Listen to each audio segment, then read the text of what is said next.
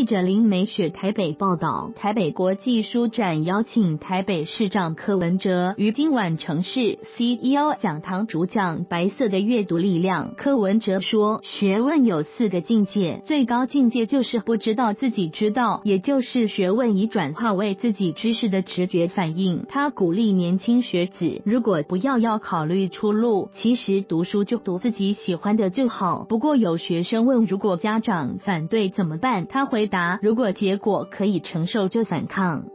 科批判白色的阅读力量，认为学问四个境界，最差就是不知道自己不知道，然后知道自己不知道，学习之后知道自己知道，学习内化到最高境界，所有知识变成直觉，就是不知道自己知道的反射反应。科批说，读书最重要的是要能改变人生观。他在留学时学到最重要的观念就是如何让自己不断进步，因为所有的知识都可。可能过时，知识的本体不太重要，重点是不断进步。